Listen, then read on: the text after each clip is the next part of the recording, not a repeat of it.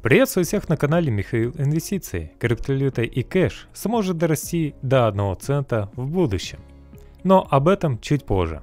На данный момент мы наблюдаем о том, что в связи с позитивной новостью, которая произошла после заседания ФРС, у нас наблюдается всплеск. Мы видим о том, что рынок позитивно очень отреагировал и довольно неплохо подрос. Кто-то на 3, на 10, а то и на все 30%. Сейчас как раз таки все ближе и ближе мы подходим к сезону и как раз таки можем увидеть всплеск еще больше. Перед тем, как я начну обзор дальше, не забудь поставить лайк, подписаться, чтобы не пропускать новые полезные видео. Популярный криптоаналитик Smart Contractor говорит своим подписчикам о том, что биткоин может еще просесть до 30 тысяч долларов. То есть сейчас будет некий такой боковик от 30 до 69 тысяч долларов.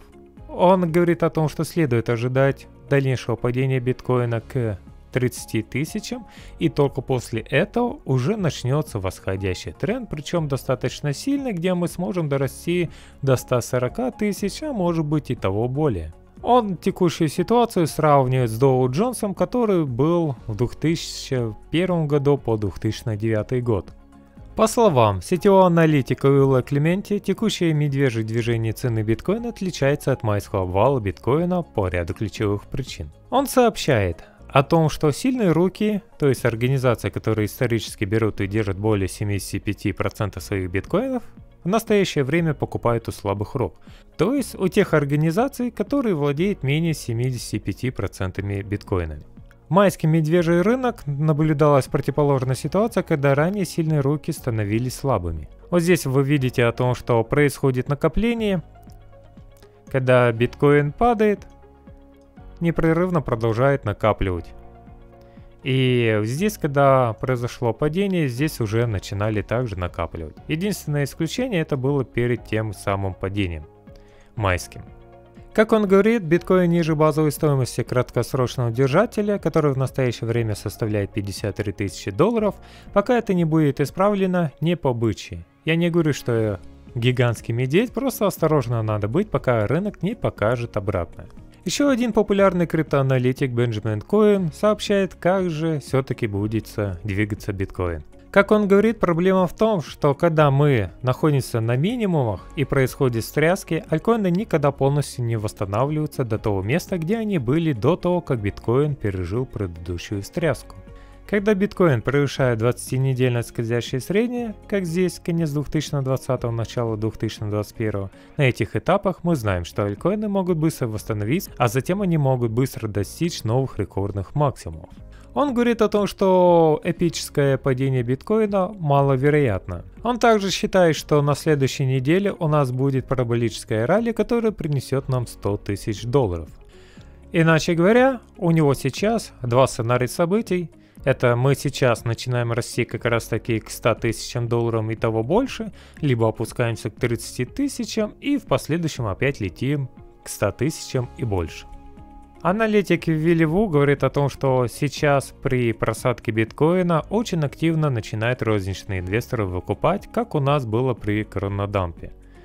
Обратите внимание, на каких высоких и хороших объемах все это выкупается. Также криптоаналитик говорит, что когда долгосрочные держатели достигают пика накопления, биткоин имеет тенденцию вызвать сильное ралли, которое позволяет долгосрочным держателям распродать свои активы.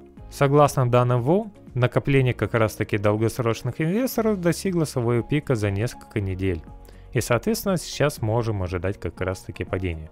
Криптовалюта и кэш сейчас стоит 0,000134. Рыночная капитализация при полной эмиссии составляет всего лишь 2 миллиарда 382 миллиона а на текущий момент она составляет 2 миллиарда 146 миллионов, что в принципе еще достаточно мало и можем ожидать как раз таки хорошего дальнейшего роста.